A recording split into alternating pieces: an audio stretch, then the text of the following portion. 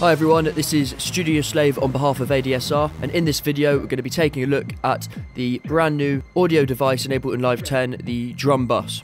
So what I'm going to do is I'm going to put a Drum Buss on two of the tracks. I'm going to use a kick track, which I've got here, which is a single drum, and then I have this drum bus, which I've just soloed, and it's filtered at the moment, but it's going to come in very shortly for the chorus. And as you can see, I've also put on some metering plugins, so we've got Voxengo Span, and we also have an oscilloscope. And we'll start off by showing you on the main drum bus as that's its main purpose and then we'll move on to the kick on its own. So the Drum Buss is a analog style drum processor and what it's designed to do is you put it on your drum bus and what it's going to do is it's going to glue all of the sounds or all the drums on that drum bus together and then you can process that either by adding some transients, adding body or maybe just instilling the same character across all of the drums within that group. So it's brilliant for gluing up a mix and making it sound a lot tighter. So it's got quite a lot of tools and none of these tools are new to Ableton Live, but what it is doing is bringing them all into one single place. So we've got processes such as compression, distortion, low frequency enhancement, transient shaping, and we've also got the ability to dampen high frequencies as well. So firstly we have the trim control here and it seems a bit odd to me that they've put the input area here. I think it should be at the top and you should work your way down, but they've decided to put it here. So we have the trim control, and this is before any processing is applied. And this will come in handy when we start to add further processing and we start to clip or limit our signal. So we have the trim control, and this moves into a compressor. And this compressor is at a fixed value, so we can see straight away this is when we're going to want to start to pull our signal down a bit. And we could also do this with the output gain here. But we want to trim it at this stage because we've got further processing to do. So just so you can hear, off. And you can hear there's quite a lot of makeup gain on this compressor. So as for settings, like I said, it's fixed so you can't change them. But it's got a fast attack, a average release and moderate ratio values. So it's designed to glue disparate drum sounds together. So moving into the next stage, we then go and we have the drive, which feeds into these three distortion types. Okay, so these distortion types do work without the drive, so I'll just take the compressor off, put this back up. So we have soft, which is wave shaping distortion, medium, which is limiting distortion, and hard, which is clipping distortion with the bass boost. So you can hear it, but it's not super, super obvious at the moment because we're not using the drive. And what this drive knob does is it drives the input to this distortion. So we're just pushing it further into either the wave shaping, limiting, or clipping distortion. And then we can compensate with the amount of drive we're adding by reducing the input gain. So we're not going to be absolutely smashing the output. So if we go back to our hard distortion algorithm, which is clipping, you can't actually see it on the spectrum analyzer here because we don't actually have any low end in the signal. But what this is doing is it's giving it a big bass boost. So just to show you this, what we'll do is we will go across now to the kick drum and you'll be able to see that on the spectrum analyzer when I use that hard distortion and I'll turn it on and off so you can see. And we'll just play this. So we have our soft, our medium, and our hard. And we can actually see that here if I take that on and off.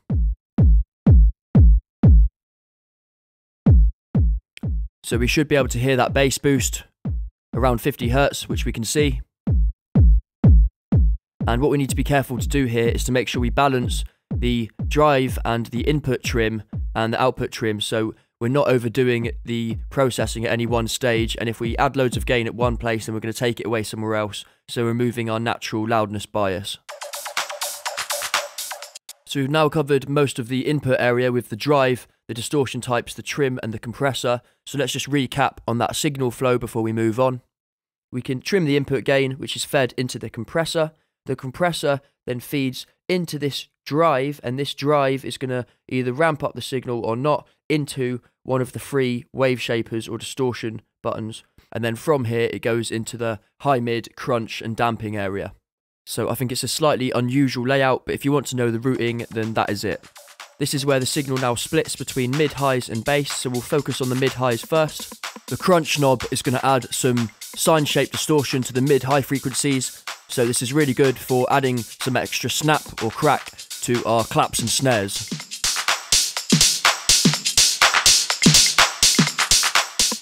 And if that gets a little bit too much, then we can damp that down using the damping. And this is essentially just a low pass filter. So say if we do have a real gnarly setting, we're getting a bit too much going on in the top end and it's hurting our ears, then we can just dampen that down a little bit, those higher frequencies, just so they're a little bit less piercing on the ear.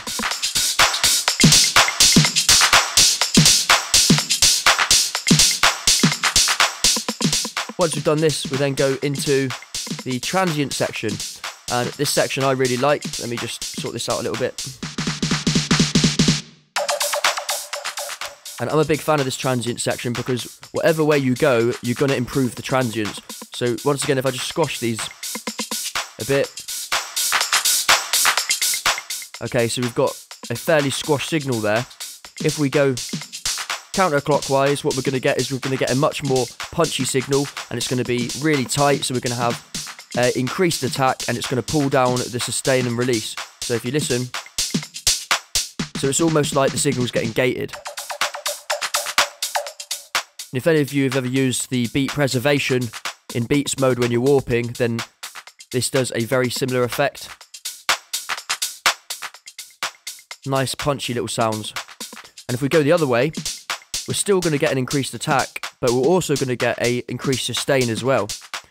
So it's similar to what compression could do for the mix. So just to show you.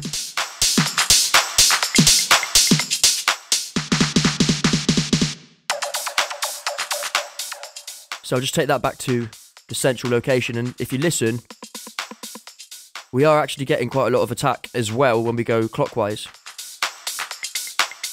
So both ways are punchy in a way, but this way is going to give you more room sounds and more of the actual space and the sustain, whereas this way is going to give you a tighter, punchy, more clear sound.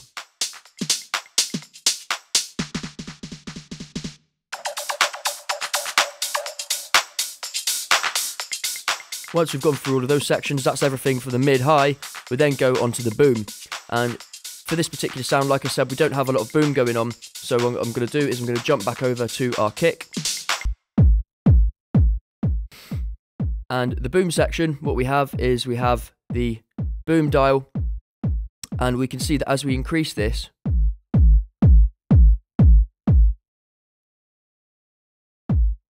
as we increase this, we're getting more bass here, and this is showing us how much bass we have in our entire, so the boom and the input bass as well. So if I turn that all the way down, you can see we've still got a lot of bass in this sound anyway. That's because it's a sample that was already in pretty good condition.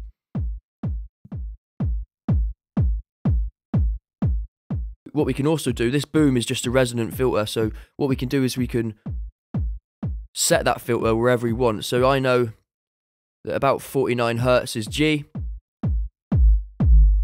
So we've got boom now in G, and we can see this is getting absolutely smashed with gain here.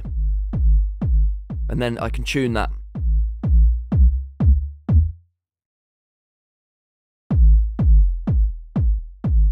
And what you might also notice is that we have this moving down here, and this is telling us the closest MIDI note, and it's also got a little plus or minus symbol to say if we're above or below. So we're just below G, and I can click on this, and if you watch this here, what it's going to do is it's going to lock to G, which will be 49 hertz. And if we go above, you can see it tells us that we're above and we can lock back onto that. So that is really handy. Say if you don't know what key your music's in or your kick's in, we can just have a look our spectrum analyzer in about A. So we can turn this back on and we can go 55 hertz, which is A. But if we don't know that, then we can just sweep through and it will tell us A. And at the moment, we've got loads of decay on this, so I'll pull this down. And this decay works not only on the boom that we've added, but it also works on the input sound as well, post distortion and post drive. So I'll just show you. What we can do as well is we can solo the boom as well. So if I just press this button, we're now just hearing those lower frequencies, about below 100 hertz. So we can push this decay up and we can tighten it. And then as we add boom, this decay is going to affect the added boom signal as well. So we add some boom now. We can see that coming up on the meters. We can see it here. And then all we've got to do is push out the decay. And we're going to get that. So we can get real precise using this monitoring. And when we're happy with it, we just take that off. And it's definitely worth looking at this. If you're smashing loads of bass on there, or if you're using headphones and you can't hear it properly, this could be quite a good indicator as to how much you've got. So at the moment, that's way too much. We're getting absolutely dwarfed in sub. And what I want is I want a bit more mid mid frequency crunch. So just like I'd use this on a drum bus, I can add some of those chest punching frequencies with this crunch. I can soften if I want to some of the very high end and save that for where my high end percussion is going to go. And then I can take a look at the peak and I can decide, well, do I want more body? Do I want it to be more clicky and punchy sound? And we can see there just how profound the scope of this attack portion is. So we can see it really digging out and giving us a pronounced attack.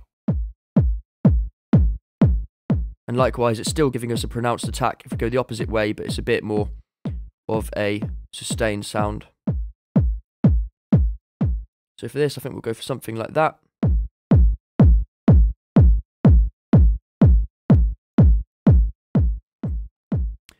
And there's a few different ways, and I want to go through different ways we can use this. So just so you can see the difference with and without, and something to be aware of here is keep an eye on the meters. We are getting quite a large jump in gain here, so gain staging is the word of the day. Make sure you level your inputs and outputs. But some people think that this is maybe a bit too of a harsh effect. So obviously we'd be compensating for the loudness using this. So I suggest using a meter and making sure that if you're adding loads of gain, then you take that back away again. So you can do some decent A-B testing. But also there's nothing wrong with using this in parallel. So rather than using it completely over the drum bus, you could use it at about 50% or less. And you could actually use it at much, much higher value. So just for example, we could go for something absolutely crazy.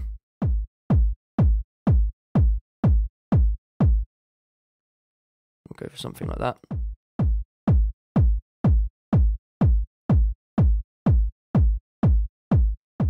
And then we can just blend this back in.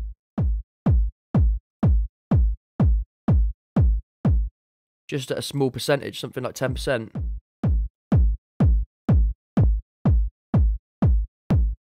and it's still giving us what we need, but doing it in this parallel configuration means we've also got the completely unprocessed signal coming through as well. And likewise, we've got the main use of this, which is on a drum bus, hence the name. We've then got using it on a solo instrument, and it doesn't have to be a kick, it could be absolutely anything. We can then use it in parallel. And another alternative way to use this would be to make a return track and then use it in a send and return configuration. So what I'll do, rather than putting it on here, is I'll use the keyboard shortcut Command Alt and T. That gives us a new return track. We'll just drag the Drum Buss onto this. Then we can go for whatever settings we want, whether we want them to be harsh or gentle. And then we can send whatever sounds we want from anywhere within our project over to this drum bus. And it's going to give us a sense of glue and pull all of these sounds together and give them the same sonic characteristics.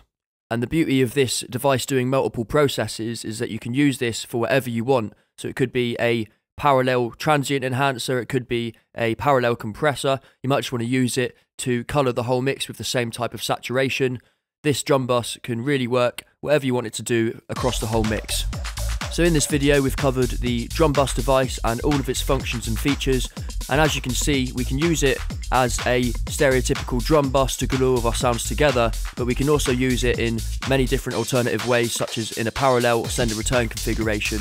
And the key here is just to experiment with it and I'm sure you'll find that it will work really nicely on a range of different instruments and not just the drums. So give it a go and let us know what you think. Thanks for watching this video, and I'll see you in the next one where we're going to be covering the brand new pedal device in Ableton Live 10.